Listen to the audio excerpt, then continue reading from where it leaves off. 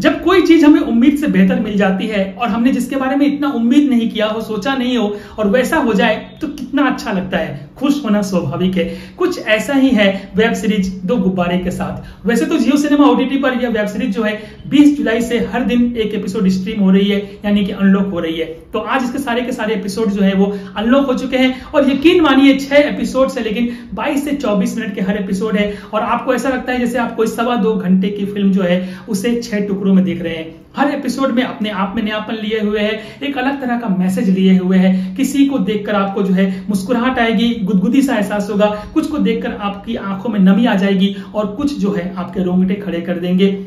मतलब कि हर web series का जो एपिसोड है, वो बहुत ही प्यारा बन पड़ा है। लगता है कि यह वेब सीरीज़ खत्म ही क्यों हो जाता है इतना जल्दी? बहुत ही सादगी से, बहुत ही सरलता से और इतनी शीतलता के साथ ये वेब सीरीज़ को मैं कहना चाहूँगा, क्योंकि आज की हर वेब सीरीज़ जो है, वो हर दूसरी वेब सीरीज़ में गर्माहट, यानी कि उसमें मार धार गाली गलौज की और ऐसे वलगरिटी सीन्स की भरमार है कि उससे वो गर्मी पैदा करते हैं। लेकिन यह वेब सीरीज़ आपको शीतलता का एहसास कराता है। जैसे मानिए कि रेगिस्तान में आपको कोई बरगद का पेड़ मिल गया हो। उफ, इतनी तारीफ़ मेरी तरफ़ से। लेकिन एक शिकायत भी है। सब कुछ ठीक है, लेकिन एक शिकायत है मेरी, जिसके बारे में थोड़ी देर में बात करते हैं। पहले कंटेंट को समझते हैं कि इसका कंटेंट कहानी क्या है, जिसके कारण यह वेब सीरीज़ जो है इतनी उमदा बन पड़ी है, इतनी बढ़िया बन पड़ी है। तो कहानी है पुणे शहर में रहने वाले एक दादाजी, जिसे आजोबा कहते हैं मराठी में। वो रहते हैं और उनके घर एक पेइंग गेस्ट रहने आता है, यानी कि रोहित, जिसका नाम है सिद्धार्थ सो, असल ज़िंदगी में। और जो दादाजी है आजोबा, वो मोहन अगासे जी है।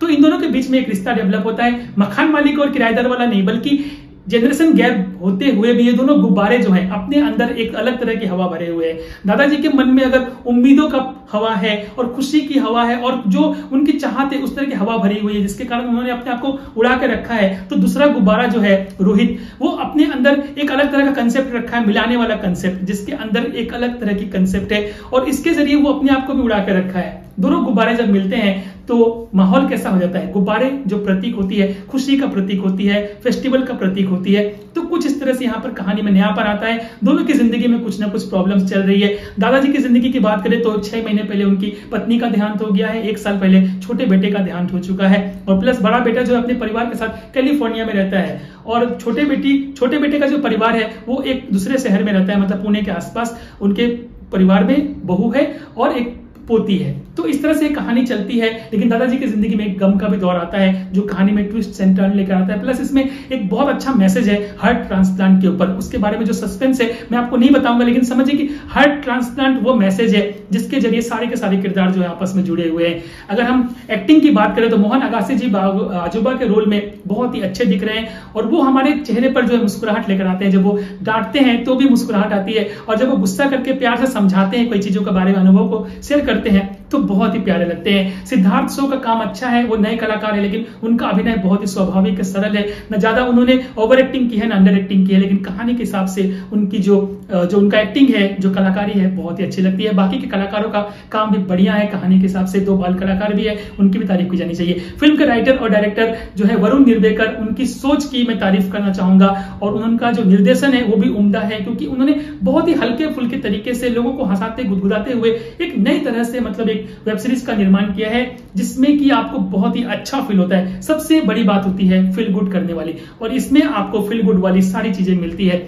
लेकिन इन सब के बावजूद सारी की सारी चीज़ें एक तरफ़, लेकिन एक मेरी शिकायत है पर्सनली क्रिएटिविटी के नाम पर जो आपने दिखाया है इसमें, वो ये जो मुझे थोड़ा सा गलत लगा है, अगर मैं गलत हूँ तो प्लीज़ मुझे कमेंट करके बताइएगा कि मेरी पॉइंट जो वैलिड नहीं है। इसमें जितने बार भी स्कूटी के दृश्य दिखाए गए स्कूटी चलाते हुए, चाहे वो रोहित चला रहे हो, चाहे अजोबा और दोनों मिलकर भी चला रहे हैं तो किसी ने भी कभी कोई हेलमेट नहीं पहना।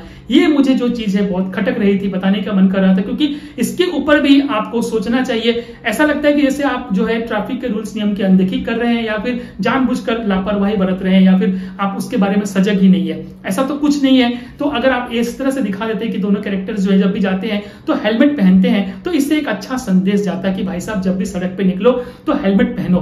वेल well, मेरा यही पॉइंट था। बाकी मैं ये कहना चाहूँगा कि यह वेब सीरीज़ जो है आप इसे पूरी तरह से आराम से अपने परिवार के साथ बैठिए, देखिए, मुस्कुराइए और आनंद लीजिए खुशी का, क्योंकि यह वेब सीरीज़ जो है बहुत अच्छी बन पड़ी है।